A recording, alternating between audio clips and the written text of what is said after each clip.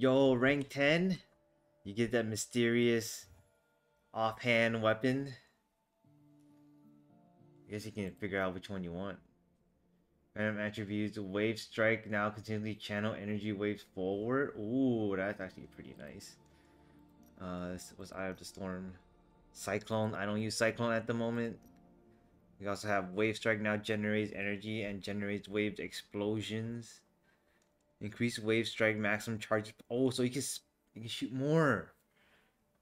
Man, now gather quickly gathers energy, generate wave explosion. Well, I kind of want that.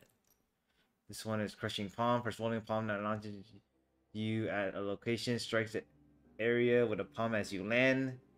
The cooldown increase. Oh, I don't like the cooldown increase.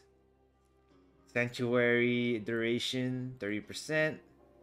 Uh, Exploding Palm now freezes. I think okay, so I either want since I use uh, I like Wave Strike. It's either I use this to co continually channel waves, or I can go with this and then just charge hella quick and I can do two of them, which is pretty nice. Actually, I might go with this be just because of that. Yeah, raw. See, let's see what stats I got.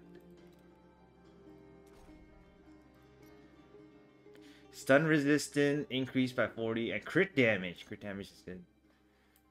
Alright, cool. Click that on. Transfer everything. I like how they had to transfer stuff.